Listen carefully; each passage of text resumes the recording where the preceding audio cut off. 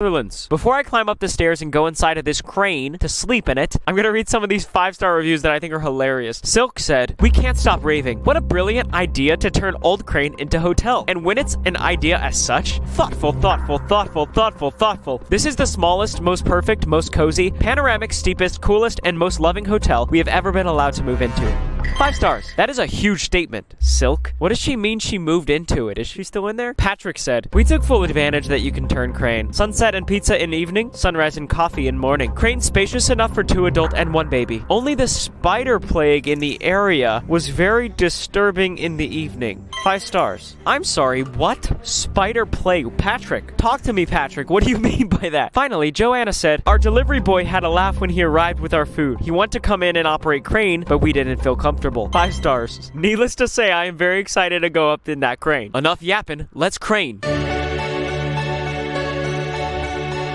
right, I made it. That's the crane operating room, and this is the Airbnb.